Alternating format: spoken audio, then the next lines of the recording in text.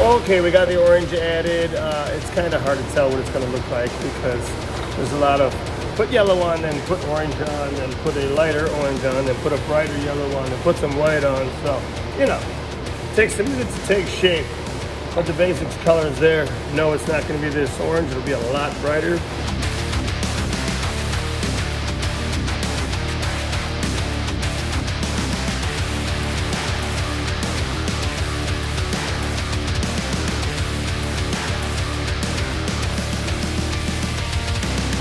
Shooting stars like, you know, it's gonna light up your life.